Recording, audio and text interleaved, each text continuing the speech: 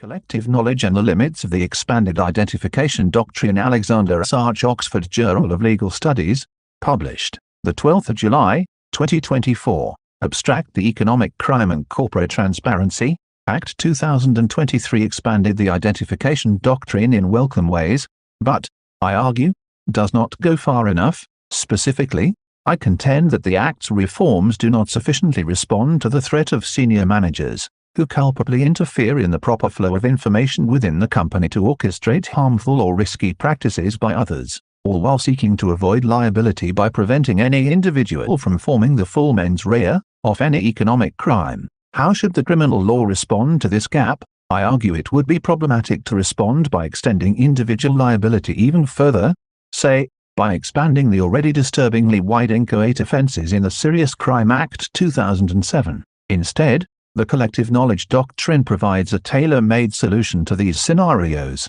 This doctrine would permit courts, in narrow circumstances to aggregate individuals' mental states within the company to construct a distinct corporate mens rea. I argue that Section 196 of the 2023 Act, which expands the identification doctrine, could be read to incorporate a narrow version of the collective knowledge doctrine, at least if courts are willing to adopt a purposivist orientation aimed at giving effect to the wider aims of Parliament. A restricted version of the collective knowledge doctrine would have normative benefits and so, I suggest, is worth putting to the courts through test litigation 1. Introduction The identification doctrine has recently received a major upgrade. It is the chief mechanism in English law for attributing crimes to organizations, and a key tool for combating harmful criminal behaviors in corporate settings long criticized as too narrow, one the doctrine has finally been expanded via the Economic Crime and Corporate Transparency Act 2023, the 2023 Act. Point 2 Among the 2023 Act's changes to corporate criminal liability,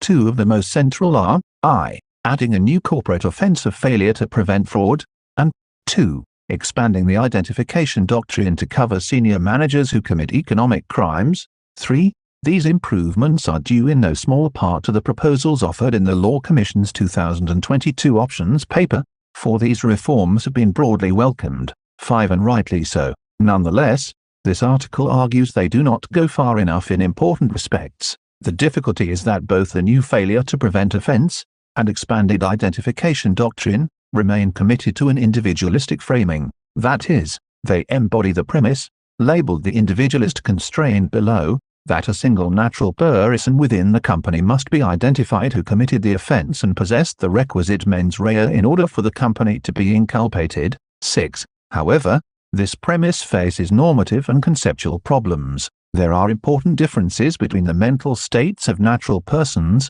which are real psychological states, and the mental states the law attributes to an artificial entity like a company, which are legal constructions. The 2023 Act to the extent it remains committed to this individualist constraint, does not go far enough. I argue that the Act's reforms do not sufficiently respond to the threat of senior managers, culpably interfering in the proper flow of information within the company as a way to orchestrate or enable harmful behaviors by others that may benefit the company while avoiding the prospect of liability, by preventing any individual from forming the full mens rea for any economic crime. The possibility of these worrisome cases was recognized by the Law Commission, which put the point, albeit cautiously, thus, we accept that devolved structures are not necessarily put in place in order to avoid corporate responsibility, criminal or otherwise, but given that such devolved structures are put in place by large corporations, it is reasonable to ask how the decisions and conduct that flow from such decisions of the corporation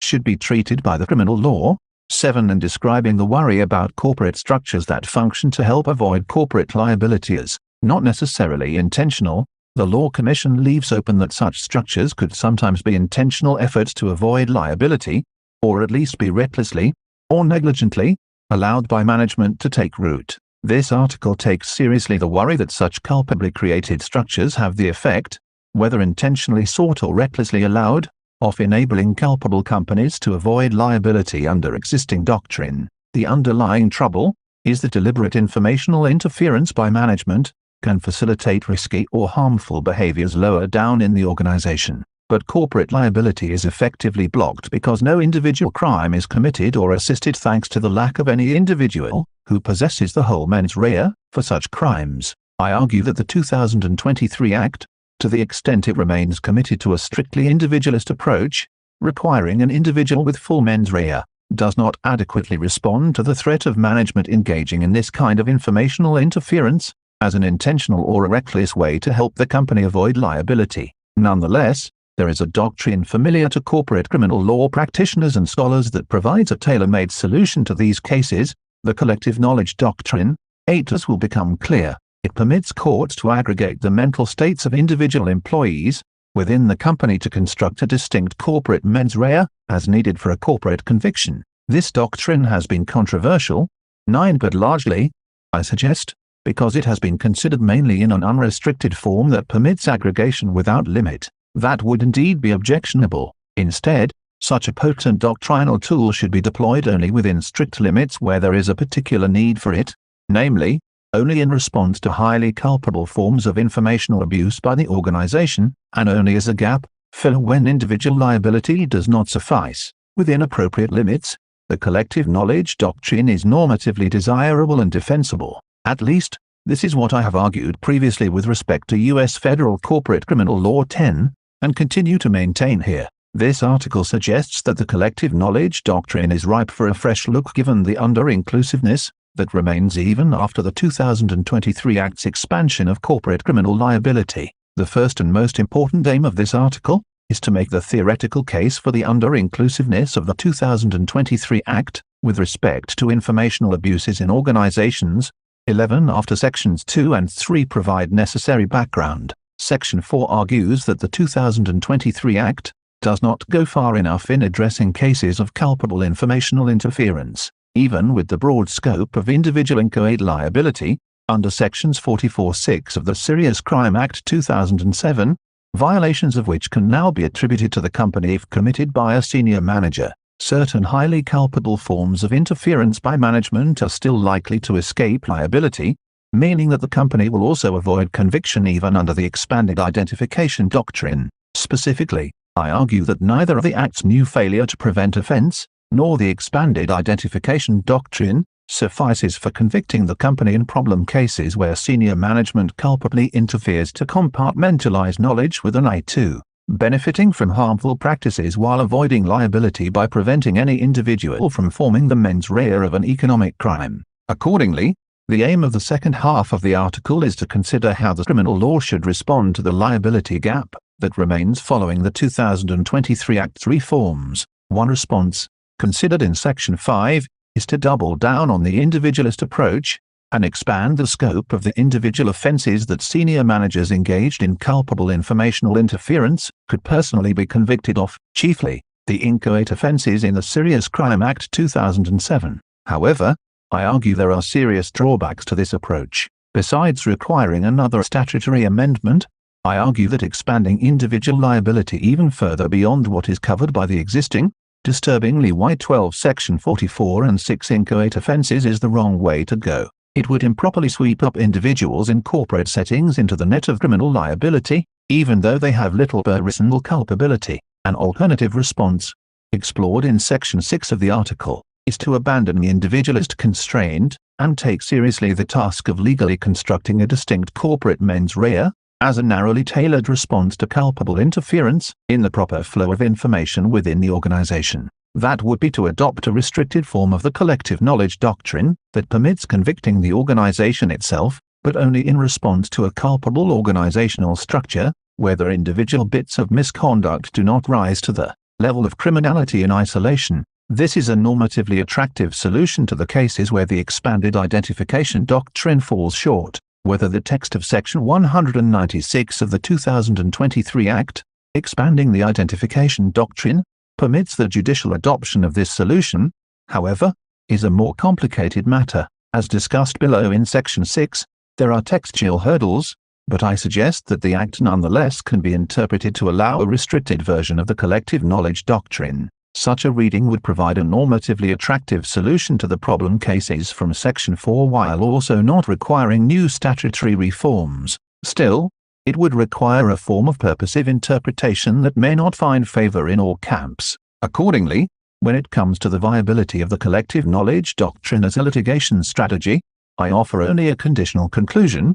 If one thinks the courts are sufficiently purposivist in orientation, a matter I cannot resolve here, then there would be a weighty case for the judicial adoption of a suitably restricted collective knowledge doctrine. Mapping out what this case looks like is the aim of Section 6, as the 2023 Act is hot off the press and the case law interpreting it not yet solidified, this is an issue worth putting to the courts through test litigation. The collective knowledge doctrine is worth keeping in the prosecutor's toolbox as courts grapple with the limits of this new legislation too. The collective knowledge doctrine, background Unnecessary limits to provide background for the ensuing discussion. This section reprises the normative case for the collective knowledge doctrine by drawing on arguments I have previously offered regarding U.S. law. Looking to U.S. law makes sense here since American courts and commentators, have given some of the most sustained consideration of this doctrine. To see the puzzle it responds to, consider the following hypothetical, 13 of which this article will consider numerous variations,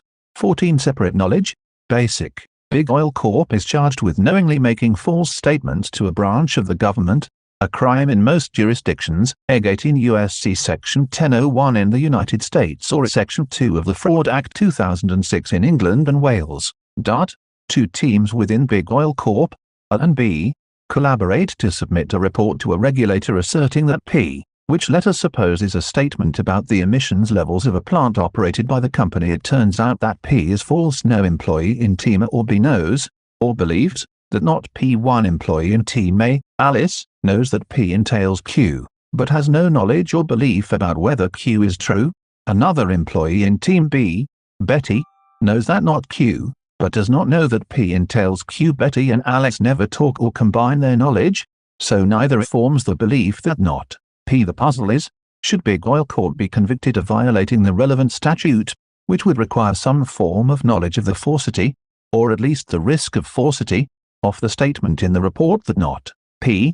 Most US courts that have considered the issue answer no, and not only in criminal contexts, but also in civil contexts. Point 15 instead. Most though arguably not all 16, US courts adopt an individualist approach when applying the respondeat superior rule, that represents the dominantist approach to attributing liability to corporations under respondeat superior. When an employee commits a violation, the violation, including its mental state, can be imputed to the employer company if, at the time of the violation, the employee, I, intended to benefit the company in so doing and, 2, was working within the scope of her employment, 17 When applying this rule, most US courts reject the notion of collective knowledge and instead adopt the following individualist premise, individualist constraint. An organization possesses knowledge that P is required for being guilty of a given crime, only if there is an individual employee or member of the organization who, acting within the scope of her employment and for the organization's benefit,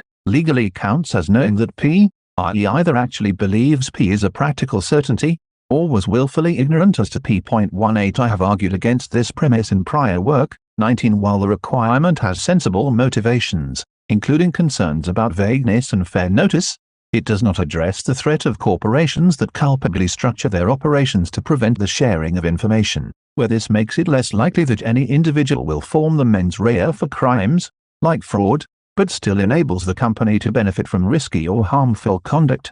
20 Instead, I have argued that a narrow collective knowledge doctrine is an attractive solution to this problem. 21. The core proposal is to adopt a rule like the following restricted collective knowledge doctrine, imputing a piece of knowledge, K, to the organization, even though K was not possessed by and could not be imputed to any individual within the organization, is justified if I, its employees, acting for the organization's benefit and within the scope of their employment, culpably interfered with the proper flow of information, which otherwise could have led other appropriate employees to acquire K, and 2. This interference was sufficiently culpable to render the organization as culpable as it would have been had an individual possessed K, and the organization acted analogously. There are two important caveats about the proposal first. I do not endorse knowledge aggregation for cases of non-culpable ignorance. This can be seen in the following variation of the example above separate knowledge innocent, assume the same setup as separate knowledge, basic, applies, but the reason neither Alice nor Betty, nor anyone else in their teams,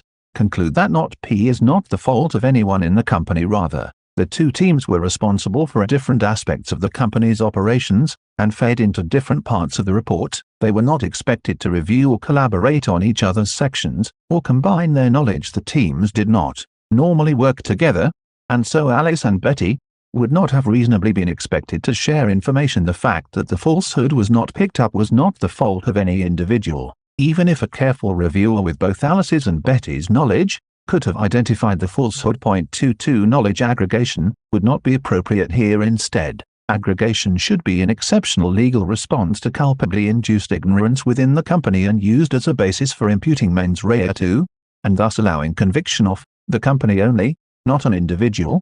Second, it is important to note that knowledge aggregation is not needed in cases of individual willful ignorance, where a manager is genuinely willfully ignorant of an inculpatory fact, Existing doctrine allows knowledge of it to be imputed to the manager, which in turn enables convicting the company through traditional routes.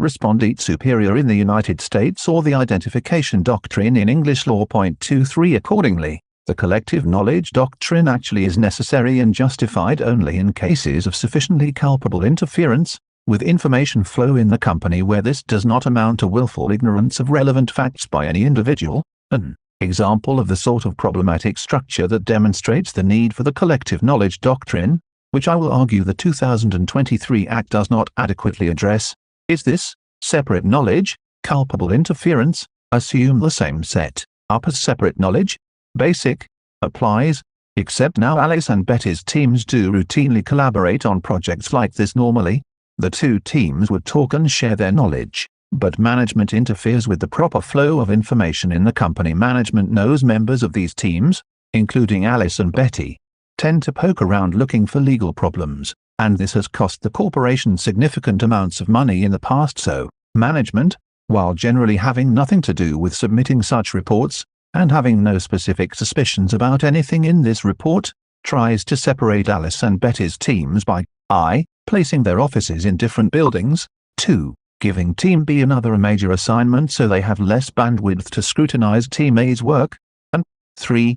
Sending the teams confusing instructions on how to access existing datasets they might wish to examine for this report, etc. Management hopes this will prevent the two teams' members from talking and discovering problems with the company's business practices. Thus, Alice and Betty never talk about the report, and they never draw the inference that not P. They are both victims of management's scheme to compartmentalize potentially damaging information management, creates a structure designed to prevent people like Alice and Betty from sharing information, in the hopes of preventing knowledge of legal violations or harms in general from being noticed so the company can have plausible deniability thanks to management's culpable interference.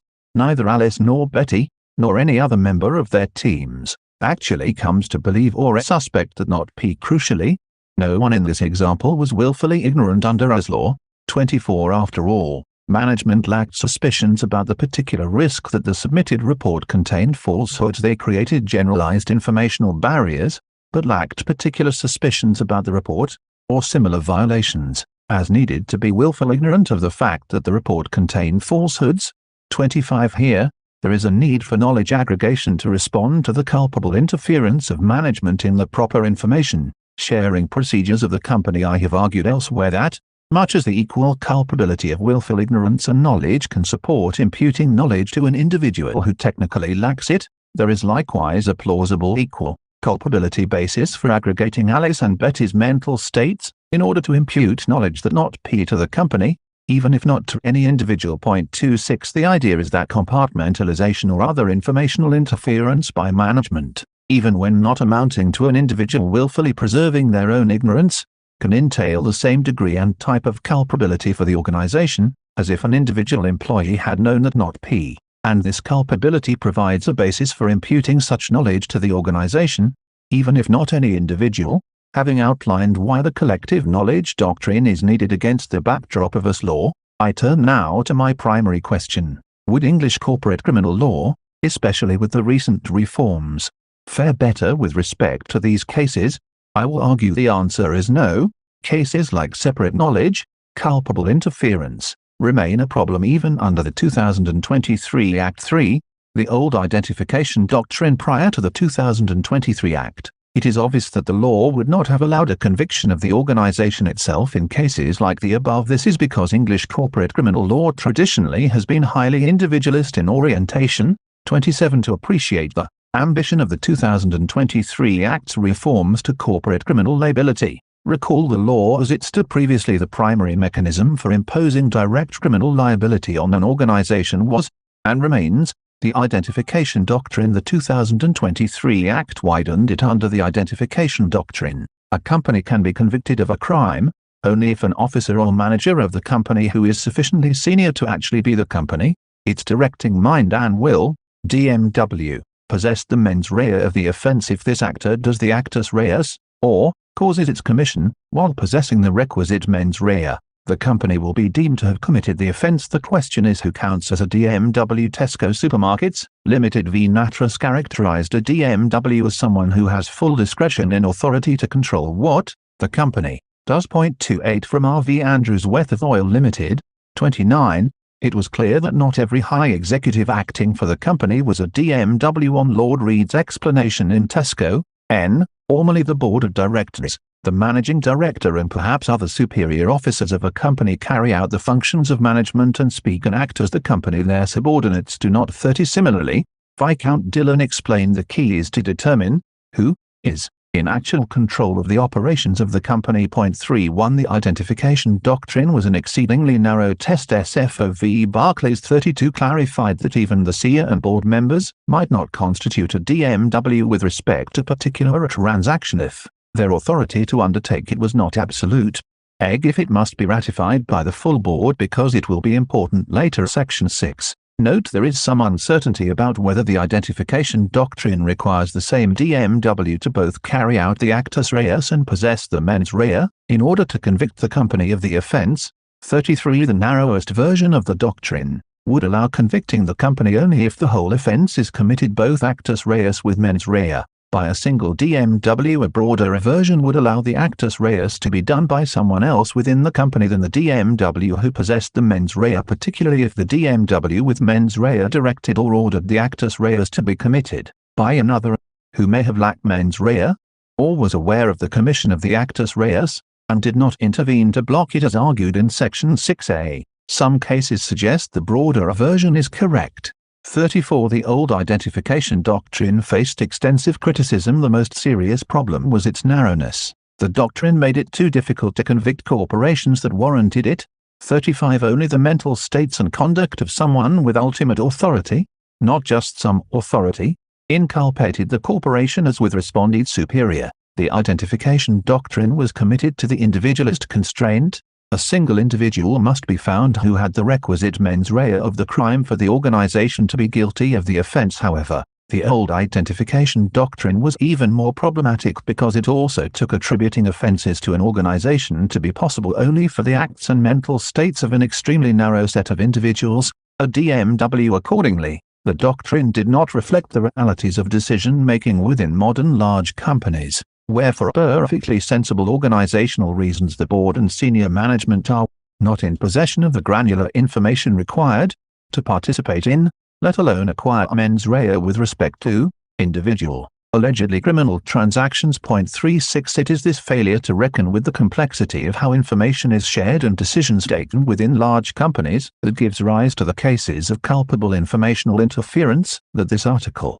focuses on I argue that they remain a problem even after the 2023 Act's reforms for, the recent reforms don't eliminate the problem of culpable interference in information flow. This section presents my primary argument that the reforms in the Economic Crime and Corporate Transparency Act 2023 do not go far enough when it comes to informational abuses in organizations. The Act's key corporate liability provisions were animated by the aim of holding corporations liable in their own right for economic crime and discouraging them from turning a blind eye to and profiting from such crime. 37 The 2023 Act contained two major changes to corporate criminal law in the UK 38 that one might think help address the problem cases from Section 2, to which the collective knowledge doctrine speaks. I. A new failure to prevent fraud offence, to be brought into effect by Statutory Instrument 39, and 2. A substantially expanded identification doctrine for economic crimes, to take effect two months after the passage of the Act on the 26th of October 202,340, this section argues that neither reform suffices to fully address all versions of cases like separate knowledge, culpable interference. This is because of the unique nature of the wrong in question, carefully designed conduct that facilitates harmful corporate practices, but enables liability to be avoided by blocking any individual from forming the mens rea of a particular crime. A solution 1. New failure to prevent fraud offense. The cases we are concerned with are unlikely to be adequately addressed by the new failure to prevent economic crime offense. In the Act, the idea is that an organization would be guilty of the failure to prevent offense on a strict liability basis when someone associated with the company commits an economic crime, like fraud unless the organization can show that it had such preventive procedures in place as would be reasonable under the circumstances, this amounts to a negligence standard for imposing liability. Consider the provision creating this new offense. 199 Failure to prevent fraud. 1. A relevant body which is a large organization, is guilty of an offense if a person who is associated with the body commits a fraud offense intending to benefit, whether directly or indirectly, a, the relevant body, or relevant others. 4. It is a defense for the relevant body to prove that, at the time the fraud offense was committed, the body had in place such prevention procedures as it was reasonable in all the circumstances to expect the body to have in place, or b. It was not reasonable in all the circumstances to expect the body to have any prevention procedures in place. 41 This provision will not generate criminal liability for the organization in separate knowledge, culpable interference. Dot. The reason is simple. In that case, there was actually no complete crime of fraud or false statement, or other relevant economic crime, that was committed by any individual, but this is required by the failure to prevent model. The organization will be inculpated, only if an individual committed the whole offense, that is not what we have in the hypothetical we are considering, because no individual had the required mens rea of awareness of the risk of falsehood in the report. So, this failure to prevent offense will not produce a conviction for the company in separate knowledge, culpable interference. Dot. The underlying trouble is that the failure to prevent model remains committed to the individualist constraint B solution 2. Expanding the identification doctrine One might think the Act's expanded identification doctrine has better prospects for dealing with the problem cases we are concerned with. The idea is that economic offences like fraud that were committed by a senior manager with the requisite mens rea, etc., would be attributed to the organization the relevant statutory text, similar to the Law Commission's proposal, though without the consent or connivance language 42, is this. 196 attributing criminal liability for economic crimes to certain bodies. 1. If a senior manager of a body corporate or partnership, the organization, acting within the natural or apparent scope of their authority commits a relevant offense, the organization is also guilty of the offense. 2. Relevant offense means an act which constitutes a, an offense listed in Schedule 12, a listed offense, b. an attempt or conspiracy to commit a listed offense, c. an offense, i. under Part 2 of the Serious Crime Act 2007, England and Wales and Northern Ireland, encouraging or assisting crime, in relation to a listed offense, or d.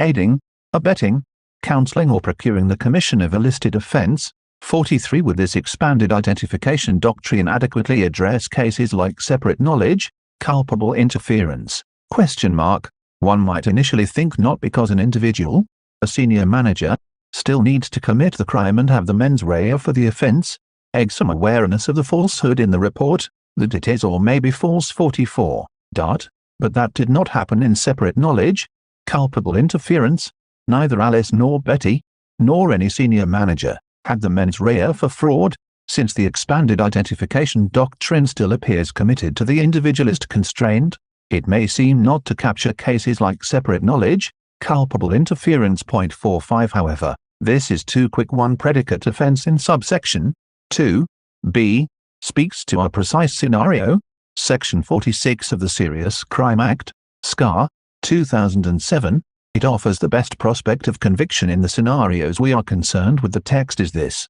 Section 46 Encouraging or assisting offences believing one or more will be committed. 1. A person commits an offence if a, he does an act capable of encouraging or assisting the commission of one or more of a number of offences, and b. he believes, I, that one or more of those offences will be committed, but has no belief as to which, and 2. That his act will encourage or assist the commission of one or more of them. 2. It is immaterial for the purposes of subsection 1. b.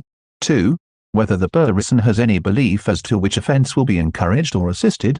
46. This offence is relevant to separate knowledge, culpable interference, because senior management committed acts that it believes will encourage a wide range of offences through their interference with the proper flow of information within the company, i.e. preventing Alice and Betty's teams from talking, etc., while believing that some of these offences will be committed, though they do not know precisely which ones nonetheless, while some versions of our case would fall within Section 46, I will argue that there are some that very likely would not be caught by Section 46, that is, the scenario sketched in Section 2 above must be disambiguated, and if the facts are specified in certain plausible ways, a conviction would be unlikely under Section 46 for any individual senior manager, and thus for the company under the extended identification doctrine, this will reveal the core instance of the problem. I am arguing corporate criminal law does not adequately address even after the 2023 Act. We will return to the complications of Section 47 below begin with the version of the case that likely would be caught by Section 46.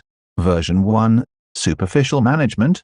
Consider a version of separate knowledge, culpable interference, where management does not think too carefully about matters they come to believe, perhaps inaccurately, that their acts of interference will encourage others to commit crimes, including fraud, and believe at least in general terms that some such crimes will be committed in this version of the case, where senior management reasons only in this superficial way. The Section 46 offence is committed and it can be attributed to the company however, there are more culpable and worrisome versions of the case which likewise involve interference with the flow of information, but where management is sneakier and thinks about matters in a more sophisticated, legally accurate way. This is the central instance of the scenario that Section 46, and hence the expanded identification doctrine, fails to capture. Version 2 Sneaky managers consider a version of separate knowledge, culpable interference, where members of senior management, including Sam, who is just one representative example, interfere with the proper flow of information within the company in ways they believe, at least in the abstract, very likely will assist the actus reus of multiple offences, including fraud related to falsehoods in the company's reports, perhaps, or other public statements. Point 47 But Sam also believes his interventions will prevent any individual from actually forming the mens rea for fraud, i.e. prevent anyone from obtaining any awareness of these falsehoods, if any exist. He believes his actions, like splitting up various teams in the company and giving them confusing instructions will make it more likely that someone will make some kind of false statement in some context or other, but at most unwittingly Sam himself has no specific suspicions or doubts about anything in the reports the company issues, as he is only aware of their existence in general and in passing. The same is true of the other managers, who hold the same beliefs about their own acts of interference in the information flow within the company Sam is but a representative example. Here, it is likely that neither Sam, nor any other senior manager has committed the Section 46 offence, if the manager in question has thought about matters this carefully, and, as is plausible, does not believe any individual will form the mens rea of the offence, then it is not the case that he believed that one or more of those offences will be committed. Section 46, 1 b. I accordingly, it seems liability under Section 46 would not be forthcoming. There are two additional doctrinal wrinkles that must be addressed to more conclusively show that the illustrative senior manager in version 2, Sam, does not have the mens rea for the Section 46 offense. I will argue that these are not viable routes to liability however. Dealing with them is necessary to bolster the conclusion that Section 46 does not capture our core case of informational interference by management. The first wrinkle is that Section 46 is actually an exceptionally broad offense because of the additional ways one can be guilty of it specified in Section 47. 5. Still, in version 2, Sam, our representative manager, does not satisfy Section 47. 5 and would still elude conviction. The text Section 47 5. In proving for the purposes of this section whether an act is one which, if done, would amount to the commission of an offence, if the offence is one requiring proof of fault, it must be proved that I, D believed that, were the act to be done. it would be done with that fault. 2. D was reckless as to whether or not it would be done with that fault. Or 3. D's state of mind was such that, were he to do it, it would be done with that fault. 48 we already addressed. Uh, as noted, Sam does not believe that the offence of fraud will be done with the fault.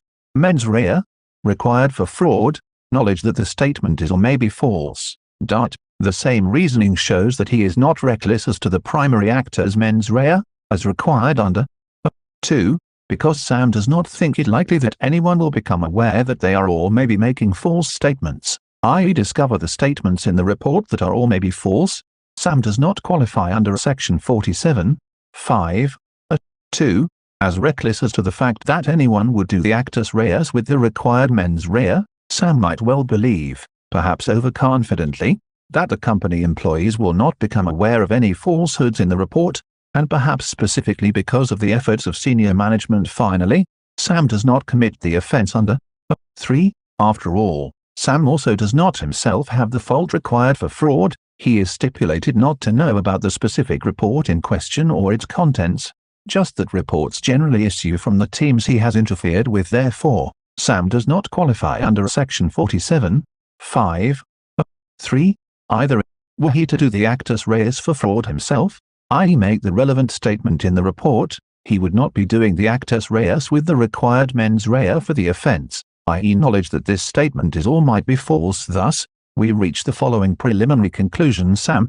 like the other managers, in version 2, sneaky managers, likely will not be guilty of the section 46 offence, so the company also would not be convicted under the extended identification doctrine however, this seems perverse, as Sam's effort to avoid liability for himself and the company by preventing others from forming the mens rea of other offences does seem highly evasive and thus culpable. This leaves the second wrinkle. This part of SCA 2007 contains another, extremely broad provision, namely Section 47, 4, and it is unclear how courts seeking to understand it in good faith would apply it to Sam in version 2. Sneaky managers it is conceivable, if unlikely, that Section 47, 4, might be construed to render Sam guilty of the Section 46 offence the relevant text. Section 47, 4, if it is alleged under Section 46, 1, b, that a person, d, believed that one or more of a number of offences would be committed, and that his act would encourage or assist the commission of one or more of them, it is sufficient to prove that he believed, uh, that one or more of a number of acts would be done which would amount to the commission of one or more of those offences, and b. that his act would encourage or assist the doing of one or more of those acts. 49 Could Sam be found guilty of the Section 46 offence with the benefit of this provision? I think it is unlikely, though I want to be cautious because I suspect courts applying it will struggle with its vagueness and complexity for one thing, the provision states it is sufficient to prove, but sufficient for what? One wonders an outright conviction with nothing else required, that seems unlikely but what other conditions are implied here, it is not clear. Furthermore, subsection a says it is sufficient to prove that one or more of a number of acts would be done which would amount to the commission of one or more of those offences, but, again, what counterfactual circumstances are envisioned by the phrase would amount to the commission of one or more of those offences, that it would amount to one of the reference offences if the other elements were satisfied, including its mens rea? If so, section 47, 4, would be redundant given that we already have section 47, 5, uh, I but it is unclear how else to read section 47, 4, in short, section 47, 4 is genuinely confusing. It is also worth noting that scholarly constitutionals of this provision also do not suggest that Sam would be guilty of the Section 46 offence. John Child's effort to deal with the confusing language of Section 47, 4, is as plausible as anyone's, and his proposal is to read in a requirement of recklessness as to the primary actors having mens rea of the encouraged offence, much like Section 47, 5, a 2.50 but, as seen in considering the first wrinkle, specifically, Section 47, 5, 2. Sam lacks such recklessness as to the primary actors having mens rea, therefore, I doubt that Section 47, 4, would be a route to Section 46 liability for Sam nonetheless. Section 47, 4, is admittedly sufficiently vague that we cannot be sure what courts will do with it. This points to a general problem with the expanded identification doctrine in the Act. It inherits all the vagueness and potential for overbreadth of the inchoate encouraging offences in SCA 2007, sections 44 to 6. I suspect this will be one unwelcome result of the expanded identification doctrine, as drafted if section 47, 4 creates uncertainty about Sam's liability for the Section 46 encouraging offence, it is worth noting that this will be somewhat offset by the broad affirmative defence, in SCA 2007, Section 52, c, which states that, a person is not guilty of an offence under this part if he proves that it was reasonable for him to act as he did in the circumstances as he believed them to be. This escape valve would allow Sam to construe his actions in as favourable a light as he can manage with good trial counsel, it is not implausible he could convince a jury to find, perhaps mistakenly, that his conduct was reasonable given the business requirements and professional or personal pressures he faced at the time regardless of how one thinks Section 50 should be applied, normatively speaking. The reality is that the practical effect of Section 50 is to reduce the likelihood of convicting Sam for the Section 46 offence, perhaps enough to offset any increased likelihood of conviction due to the confusing and vague language in section 47, 4. Dot. Therefore, I conclude that the expanded version of the identification doctrine, even incorporating the section 44.6 inchoate offences of SCA 2007, is not likely to be sufficient to capture all the versions of separate knowledge, culpable interference, that we should be worried about, particularly, the most sophisticated actors and their companies, as illustrated by Sam in version 2, sneaky managers would still most likely avoid conviction. 51.5. What not to do about the limitations of the extended identification doctrine? I have argued that the extended identification doctrine does not go far enough. Gaps remain that the criminal law, given its particular condemnatory force, 52 should fill, i.e. cases involving culpable efforts to evade the law's demands the obvious solution might seem to be to expand Section 46 further so it will cover senior managers like Sam in version 2. Sneaky managers perhaps Section 46 could be expanded to make Sam guilty because, I, he was aware his actions would encourage others to do the actus reus of relevant offences and, 2. He was aware his conduct would prevent these actors from forming the requisite mens rea. However, this would be a very worrisome policy, with serious drawbacks. The main problem 53 is that Section 46 is already extremely broad, and has faced much criticism for that reason. 54 My view is that we should not extend it further, as this risks improperly sweeping in low culpability actors along with high culpability actors like Sam here is an example where such an expansion to Section 46, i.e. expanding this encouraging offence to include acts that assist an actus reus, but block the formation of the mens rea, would misfire. It is another version of our central case but involving justified interference. Version 3, Justified interference. Suppose management does the same things as in the original separate knowledge, culpable interference, case, but for good reasons related to legitimate business aims, not in order to avoid liability. Suppose management moves Alice and Betty's teams because of personnel issues, avoiding conflicts between team members giving a new project to the one team, because it is a key opportunity for growing the company's business and sending confusing instructions because of laborious data protection requirements, but management knows it is statistically very likely that these moves together will lead to the actus reus of some crime or other being committed as a result, though they are only aware of a broad range of possible offences, fraud, conspiracy, embezzlement, etc. They believe only that this is statistically likely, though their acts of interference were done for acceptable reasons, if we expand section 46 in the manner contemplated above, so that Sam is guilty because he was aware he was encouraging the actus reus of offences like fraud, but preventing others from forming mens rea, then we would also have to convict the manager in version 3, who interfered in the company's information flow but for good reasons. That would extend liability too far of course. Supporters of extending individual liability may reply as follows They might try to narrow the proposed amendment to Section 46, so it focuses only on culpably preventing others from forming the mens rea for example, doing so for the purpose of avoiding liability. One reason I am not keen on this solution is that it would necessitate a difficult and nebulous inquiry into the nature and quality of the reasons for which management interfered in the proper information flow within the company to condition liability on a detailed and potentially invasive investigation of what a manager's personal reasons were for interfering in the flow of information in the company in the ways they did, whether this was really to avoid liability or perhaps also for justifiable business reasons, or merely personal reasons like a petty desire to save face or inconvenience an annoying colleague, etc., would render the line between guilt and innocence very difficult to discern ex ante. This would undermine the law's ability to provide fair notice and give actionable guidance, both rule of law problems but there is also a deeper problem with this. Reply, expanding section 46, to cover culpably preventing others from forming the mens rea in order to avoid liability adjusting existing forms of individual liability, which remain committed to the individualist constraint, in order to address the present problems, seems simply to be the wrong kind of tool for the job. The focus on individual liability, I suggest, is a red herring interference in information flow is very often a structural problem relating to how the company is organized as such.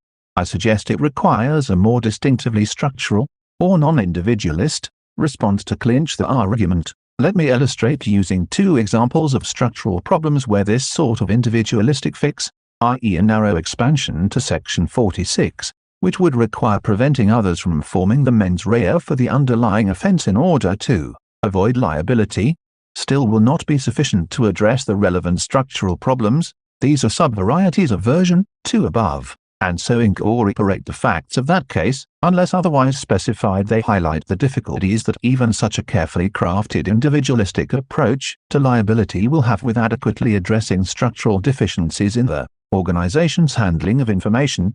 Version 2.1, Minimal Individual Contribution, consider a version of the separate knowledge case, in which the relevant forms of interference by management were carried out by different individual managers all hoping to help insulate the company a little bit from a wide but underspecified range of legal, regulatory or reputational problems however. None of these individual managers believes that their individual contribution to keeping knowledge separate within the organization, that individual's own actions, the particular steps they took or perhaps their vote in favor of a package of such steps, would actually encourage any actus reus elements of fraud. No senior manager, believes that their individual conduct will make it any more likely that the actus reus of fraud or other economic crimes will be committed. This is because each manager believes that the actions of other managers will be what creates the substantial interference with the proper information flow within the company.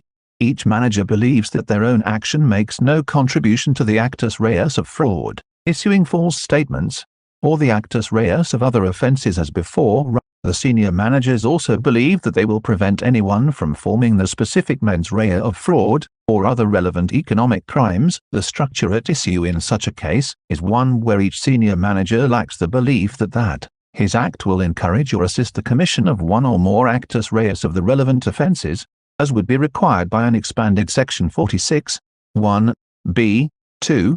This is because, given their awareness of other acts of interference by other managers, each manager believes their conduct makes no difference and provides no encouragement or assistance to the actus reus of fraud, or other economic crime in short. The trouble arises because each manager perceives the case to involve causal overdetermination, even without his own act of interference. The manager believes other acts of interference by others will be what encourages or assists the actus reus of fraud hence, each senior manager would not possess the mens rea required by section 46, 1, b. Even under the proposed expansion of the offence to include encouraging others to do the actus reus of an economic crime, while culpably preventing them from forming the required mens rea, in order to avoid liability a second example, whether proposed narrow expansion of section 46 would not suffice is this. Version 2.2 Reckless interference.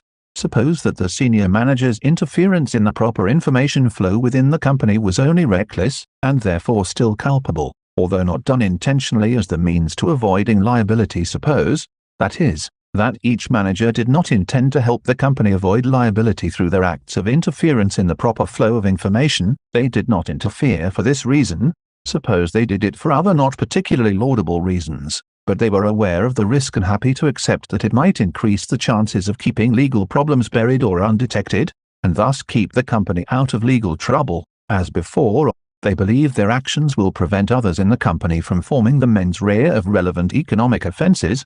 In this case, The managerial interference could still be culpable, but it also would not fit within the expanded Section 46 contemplated above, requiring intent to avoid liability, not mere recklessness thereof. 55 It is a structural problem related to what sophisticated managers will be aware are the likely, unintended, side effects of their actions so, in version 2.2, like version 2.1, I submit that an individual liability solution is not the right response for problems that are in essence a structural problem with the organization 6, a better solution, direct liability for the organization. I have argued that further extending individual liability is not a promising response to the limitations of the extended identification doctrine, particularly where the problem is structural or organizational, as in versions 2.1 and 2.2 of our central case, rather than discrete acts of individual wrongdoing. The underlying difficulty is that the identification doctrine, even in its expanded form, is still committed to the individualist constraint an individual needs to possess the whole mens rea, whether for the underlying crime or an inchoate crime, to inculpate the company accordingly. My preferred solution would be to pursue direct liability for the company, rather than expand individual liability for existing offences ever further so that increasingly minute, low culpability bits of conduct get criminalized instead. I propose we reconsider the benefits of aggregating different units of culpability within the company where these are sufficiently closely related and sufficiently culpable in the right way to enable an organization level conviction, though not an individual conviction. The collective knowledge doctrine would be particularly attractive if it could be judicially adopted through statutory interpretation, rather than requiring further statutory reforms. 56. Let me outline the substance of the proposal before considering its availability as an interpretation of the statutory text of the 2023 Act. The rule I propose is roughly the following. A version of the restricted collective knowledge doctrine from Section 2 adapted for this context.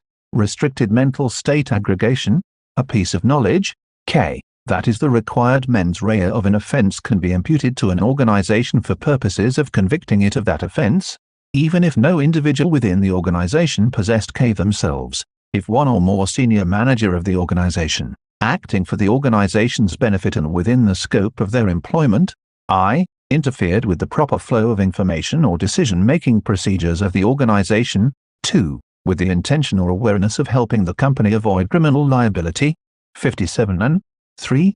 Knew, or should have known, that without such interference, in subsection I, they or other employees or agents of the organization would have been highly likely to possess K. These conditions are supposed to approximate the conditions in which senior managers' interference in the proper flow of information within the organization would be sufficiently culpable to render the company as culpable as it would have been if a single senior manager had possessed K, and the company acted analogously. This form of equal culpability, I argue, is necessary to avoid overly expansive aggregation or otherwise unfair convictions. 58.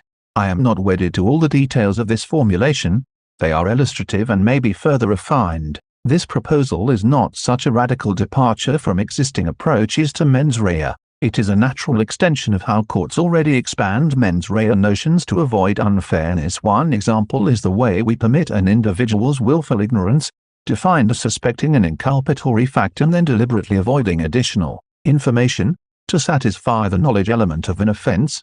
59 Another way courts stitch together offense elements, which I revisit below, arises within the traditional identification doctrine, when courts combine the DMW's mens rea with the actus reus the DMW was aware a lower level employee was carrying out 60 These doctrinal approaches involve courts using their interpretive powers to weave together offense elements to enable deserved convictions when acquittals would be unfair or inconsistent with the outcomes in broadly analogous cases. The narrow collective knowledge doctrine, I propose is a natural next step from approaches like these indeed. Adopting a limited form of aggregation to construct a corporate mens rea is in many ways a less extreme step, than creatively constructing an individual mental state for purposes of imposing liability after all. An organization's mens rea is always a legal construction, while constructing mens rea, for individual human beings, entails a greater risk of departing from the real psychological states to which mens rea categories are presumed to correspond. The narrow form of mental state aggregation, I am proposing would enable the construction of an organizational mens rea, in order to convict the company of fraud in our central cases, version 2, Sneaky Managers, version 2.1 and version 2.2, although without thereby convicting any individual thereof this makes sense because no individual actor in these cases, not Sam, Alice or Betty, fulfills all the elements of fraud nonetheless. The proposed mental state aggregation would apply here to permit the knowledge required for fraud based on the misstatements in the report, specifically, knowledge of the false statement about emissions levels at the company's plants, not P, to be constructed and imputed to the company itself, because of Sam's culpable interference in normal operations with the intention, or willingness, to help the company avoid liability, the proposed rule would allow Alice's knowledge, P entails Q, and Betty's knowledge, not Q, to be combined to draw the inference, not P, that someone in the company very likely would have reached absent Sam's culpable interference accordingly, under the proposed rule, the company could be charged with knowledge of the false statement in the report, and directly convicted of a fraud offense, in the narrow circumstances of cases like version 2, sneaky managers, version 2.1 or version 2.2, but no individual would similarly face conviction for fraud or encouraging fraud, nor should they in this way. The proposed rule has the normative advantage of constituting a direct legal response at the level of organizations to the structural problems that issue in these problem cases, rather than seeking to stretch individual liability, even further in a very likely futile effort to address structural forms of fault. The key remaining question, however, is whether this narrow form of mental state aggregation rarely is available as an interpretation of the expanded identification doctrine in the 2023 Act. Recall the language in Section 196, 1. If a senior manager of a body corporate or partnership, the organization, acting within the natural or apparent scope of their authority, commits a relevant offense after this section comes into force, the organization is also guilty of the offense, 61 The conclusion I will argue for is a conditional one. There are doctrinal reasons against a very strict interpretation of this text, and in favor of a wider reading, that would license a constrained collective knowledge doctrine. But the likelihood of this wider reading being adopted depends on how purposivist in orientation the courts are, a matter I cannot resolve here therefore, my aim here is just to lay out the case for the wider reading, which would permit employing the collective knowledge doctrine litigators, will have to assess its chances of success on the ground, but I suggest it is a theory that prosecutors may find worthwhile to test in court. My remaining argument in this section has two parts. First, I argue that while a very strict construction of Section 196 would not permit the sort of mental state aggregation proposed here, this interpretation leads to problematic legal results that conflict with existing identification doctrine precedent. However,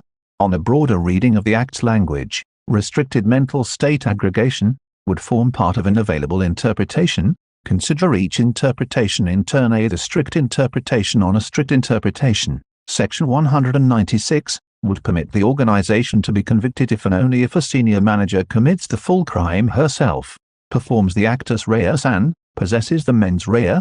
This is suggested by the phrase commits a relevant offense. The literal reading of this phrase is that it refers to a whole, complete offense this strict reading, of course, rules out adoption of the restricted collective knowledge doctrine I have proposed this strict interpretation faces problems, however specifically, it would conflict with existing identification doctrine precedent, the identification doctrine case law suggests that while the mens rea must be possessed by a DMW, the actus reus could also be carried out independently by a lower level employee that is, the existing identification doctrine allows a company to be inculpated not only whenever a single DMW commits the full offense, but also in certain additional cases, namely, where the actus reus was done by another employee than the DMW who had mens rea, and this actus reus flows from the DMW in the right way, such as if the DMW ordered or enabled the actus reus or the DMW was aware of the actus reus, and did not intervene to stop it,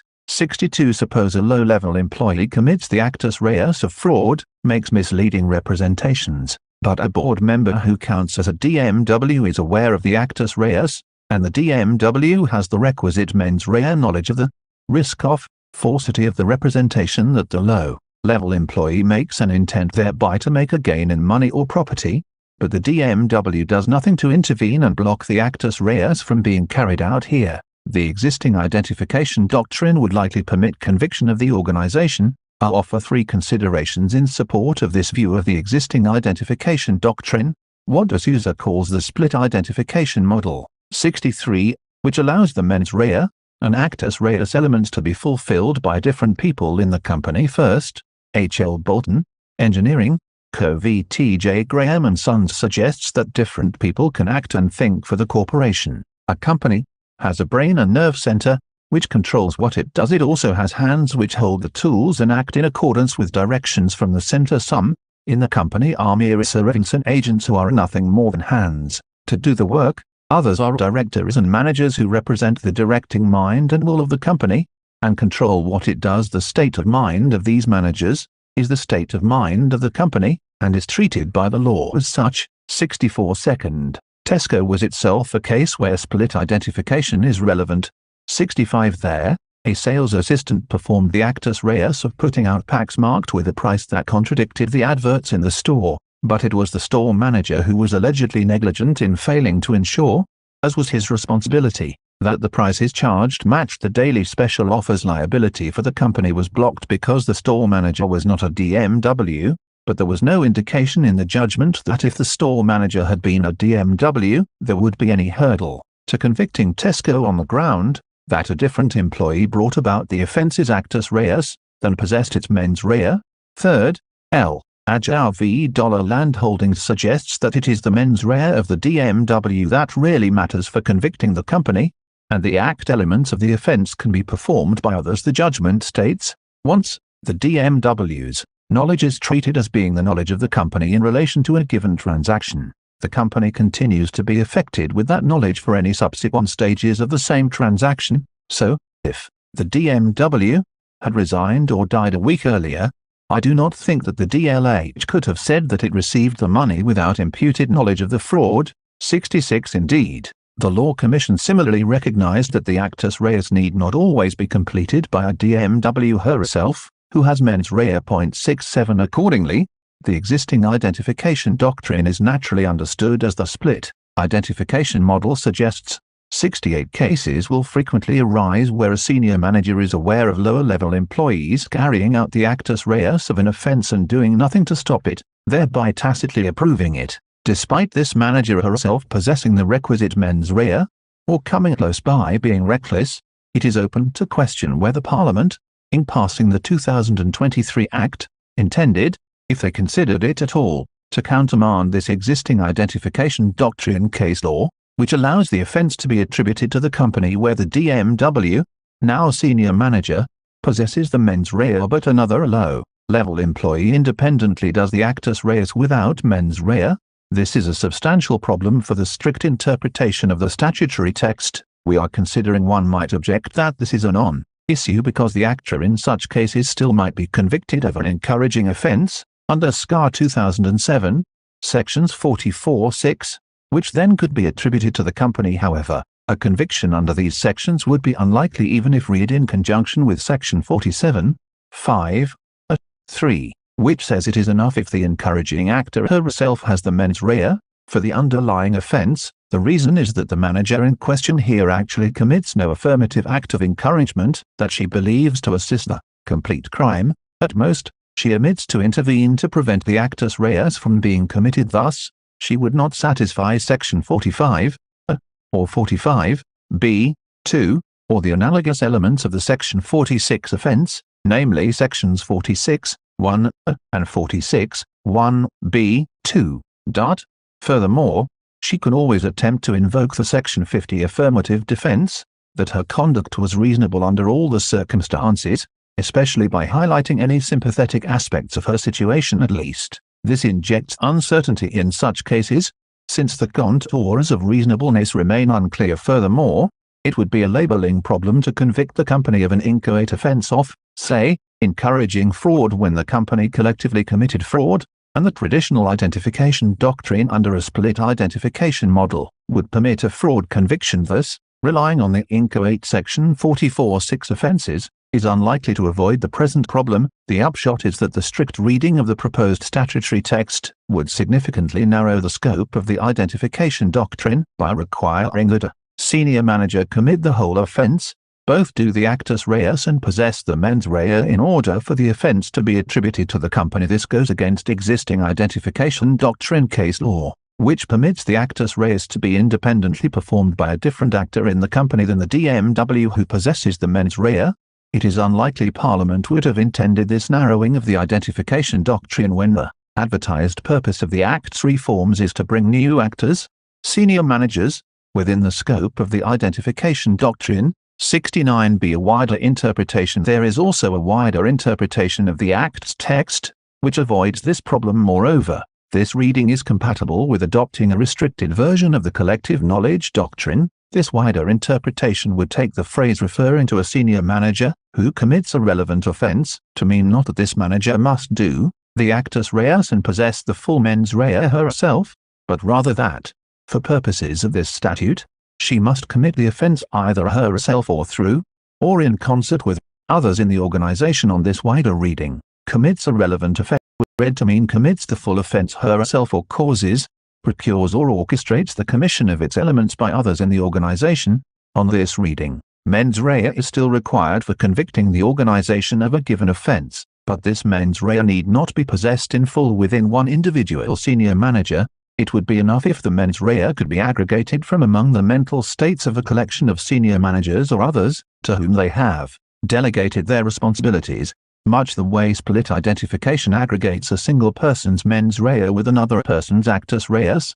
This wider reading would have two important implications. First, a senior manager could commit a relevant offence for purposes of this statute without herself doing the actus reus. It would be enough if she induced or orchestrated its commission by others. Second, on this reading, the specific individual manager would not herself have to possess the full mens rea of the offence, say, fraud, to count as committing it for purposes of this statute and thereby inculpate the company hence. The senior manager would not have to be convictable of the offence herself for it to be attributable to the company instead.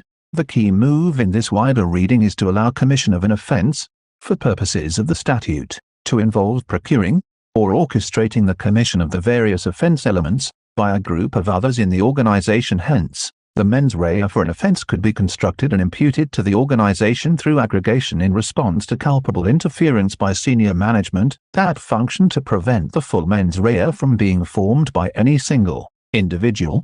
A senior manager could commit an offense, for purposes of the statute, when the mens rea for the offense is to be found distributed across several individuals, because of the senior manager's culpable steps to prevent the full mens rea being formed by any particular individual. Here, mental state aggregation would operate to negate the senior manager's culpable interference in the organization's information sharing processes, processes that without such interference would have led an individual to possess the full mens rea.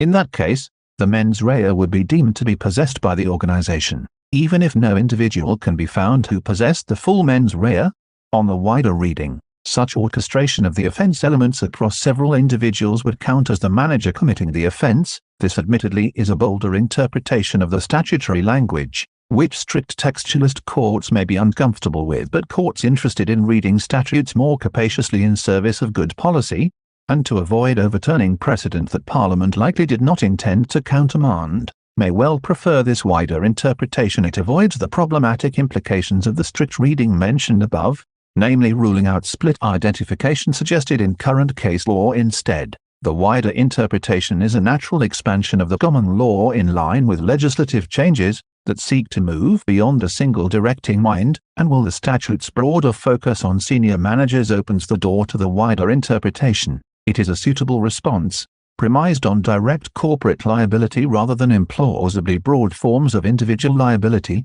to the problem of senior management interfering with the proper flow of information and decision-making within an organization to suppress potentially damaging information. The wider interpretation of the statutory text, which allows senior managers to commit offenses through a group of others who together, if not individually, satisfy the offense elements, would be a judicially available basis for limited mental state aggregation, the question of whether the courts are sufficiently policy oriented or purposivist in orientation to adopt this wider interpretation of Section 196, is an issue I cannot settle here. I would suggest the possibility is not foreclosed, 70 but I offer only a conditional conclusion here. assuming courts are willing to interpret the 2023 Act's provisions in light of the broader aim of this legislation, to expand the scope of corporate criminal liability, not narrow it the way the strict interpretation would, then there are substantial reasons to favor the broader interpretation of Section 196. I have suggested it would not only avoid the doctrinal costs of the very strict interpretation,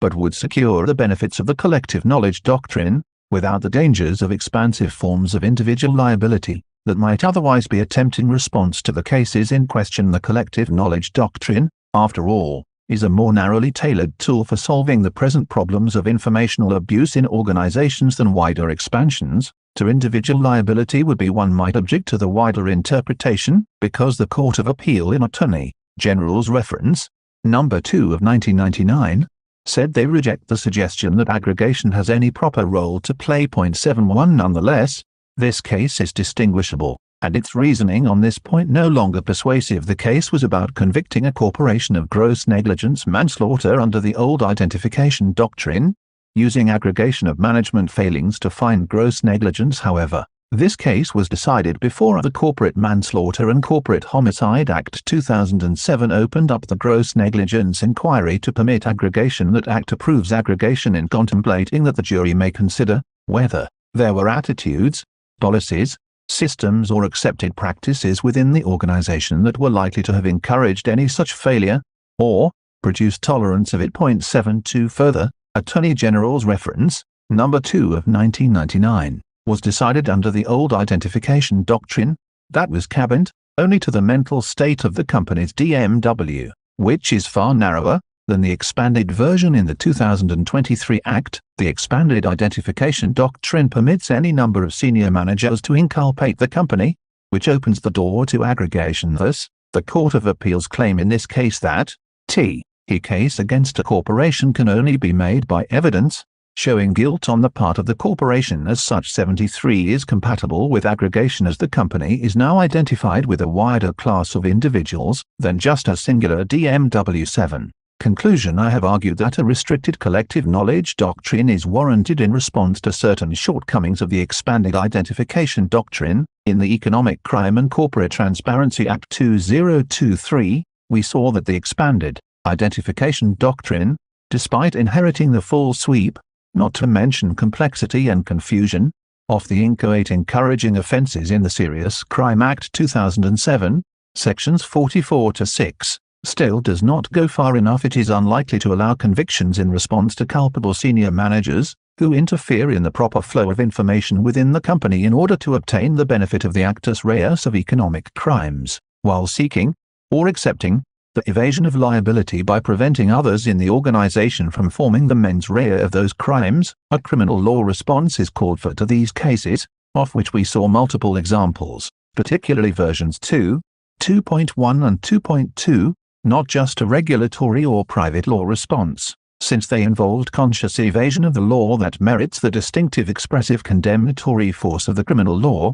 74 to adequately deal with these scenarios. I argued that a restricted form of the collective knowledge doctrine is a promising solution. Furthermore, I argued that this approach, dubbed restricted mental state aggregation, could be imposed through judicial interpretation, which has the practical advantage of not requiring further statutory amendments. Admittedly, a strict construction of the language expanding the identification doctrine in Section 196 of the 2023 Act would not sit comfortably with my proposed form of mental state aggregation however, I suggested that this narrow reading has doctrinal difficulties, which in turn supports a wider reading that is compatible with limited mental state aggregation accordingly, I offered a conditional conclusion. If courts are sufficiently purposivist in orientation to be willing to interpret the 2023 Act in light of its broader aim of expanding the scope of corporate criminal liability, not narrow it as the strict interpretation would, then there are substantial reasons to favor a broader interpretation of Section 196, which would permit limited mental state aggregation. It remains unclear how courts will construe the 2023 Act's language, expanding the identification doctrine, but I submit that the restricted version of the collective knowledge doctrine defended here would be worth keeping in the prosecutor's toolkit and pursuing in court through test litigation. Footnotes. Copyright the author.